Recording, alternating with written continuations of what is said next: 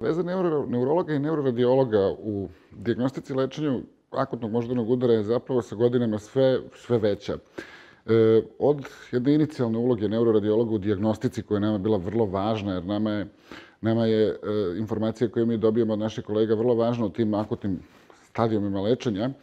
E, u poslednjih nekoliko godina oni imaju vrlo, veliki, vrlo veliku ulogu i u, samom, e, u samoj terapiji moždanog udara. Naime, u tim prvim satima rekanalizacijone terapije, odnosno pokušaj uspostavljanja ponovnog uspostavljanja cirkulacije kroz, kroz taj zapušeni krvni sud je nešto što je od, od velikog značaja i nešto što ima vrlo veliki utjecaj na ishod lečenja. E, poslednjih pet godina primjena takozvane mehaničke trombektomije, odnosno mehaničke ekstrakcije tromba zapravo e, je, je jedna od metoda izbora kojom mi lečimo naše pacijente sa velikim moždanim udarima, odnosno sa, sa okluzijom velikih krvnih sudova mozga.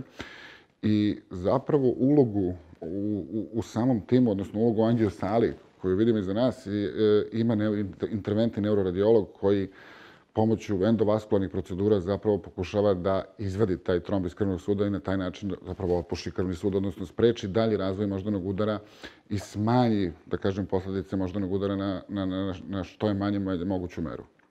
Poslednjih nekoliko godina mi sve više pričamo o tome kako na stručnim sastancima, tako i sve više, da kažem, u okvirima šire populacije. S tim što je i dalje, mislim, nedovoljno, e, nedovoljna informisanost populacije i građana vezano za to zašto je nama važno da pacijent dođe u prvih nekoliko sati.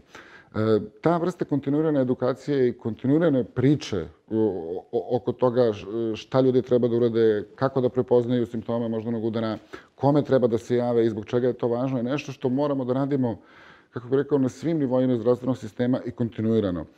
Mi imamo povremeno te kampanje koje, koje, tokom kojih pokušavamo da podignemo svest da, populacije o značaju e, kako kontrole faktora rizika, tako i zapravo pravovremenog javljanja lekarima kada se simptomi jave, ali suštinski to je proces koji treba da bude kontinuiran i koji treba da obuhvati sve nivoje zdravstvenog sistema, stalno ponavljajući ljudima i stalno zapravo podsjećajući ljude na, na značaj javljanja na vreme. Jer je stvar relativno jednostavna u, u kontekstu e, proteklog vremena. U prvih nekoliko sati mi imamo najbolje šanse da imamo dobar ishod lečenja u prvih 24 sata šanse su i dalje velike. Sve posle toga zapravo značajno smanjuje šanse za tako povoljan ishod kakav, kakav imamo u tih prvih nekoliko sati od nastanka tegoba.